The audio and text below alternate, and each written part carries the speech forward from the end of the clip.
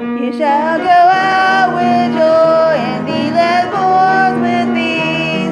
The mountains and the hills will break forth before you in the shouts of joy and all the trees of